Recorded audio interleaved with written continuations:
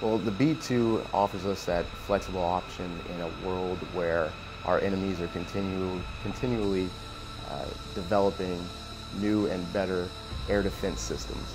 And with those systems, it basically keeps our older uh, systems and more legacy aircraft at bay. We still need that ability to fly in and hold their targets of value at risk in a highly denied area, and that's what the B-2 provides with its low observability capabilities.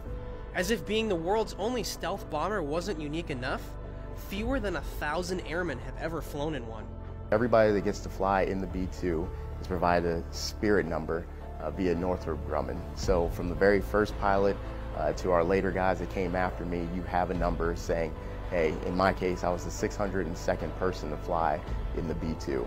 So it just kind of puts in perspective how few people total over the lifespan of this aircraft who've actually gotten to fly the aircraft.